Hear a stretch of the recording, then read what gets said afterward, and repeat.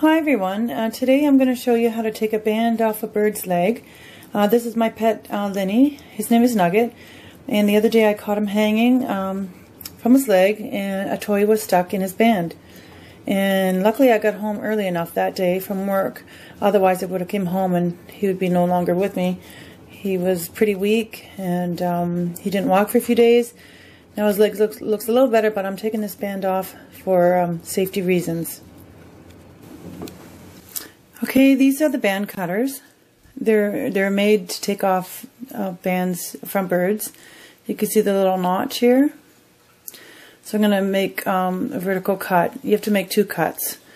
Um, you know, the first cut, then the band cut out on the opposite side. So you're going to have two pieces when we're done. Okay, so I'm going to make one cut.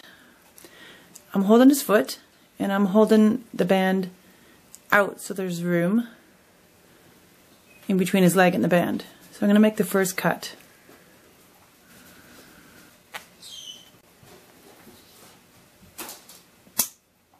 There we go. So we got one side done.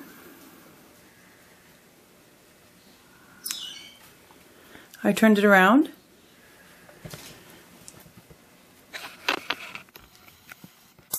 There we go.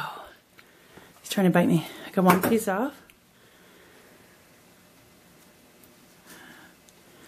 There we go. See, there's a band, and now you can keep the band, you know, in a bag or whatever you like, for like souvenir, or to prove, you know, his age. So anyways, let's have a look at his leg. You feel better now? You're going to feel better, and you're not going to get stuck anywhere. See, his leg, his toe is a little bit swollen here, still. But once the band is off and he's walking around, I'm quite sure he'll feel a lot better. So this is Nugget. He's about maybe four or five years old. He's a male, a linnie, or a lineolated parakeet, or linolated, however you like to see it. And he, sometimes they're called bar, barred parakeets or Catherine parakeets. He talks and he's really cute and uh, he's pretty tame.